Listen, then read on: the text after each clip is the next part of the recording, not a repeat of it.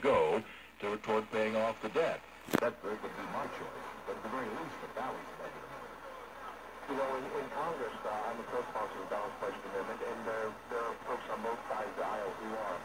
Uh, we haven't heard about this being talked from the other end of Pennsylvania Avenue, or really any of the, uh, the folks running for president right now. But when I talk to people in Iowa, debt is a big concern. Fiscal issues are a big concern. Uh, but the $20 trillion in debt, and it, it doubled since President Obama came into office, but I don't blame him solely.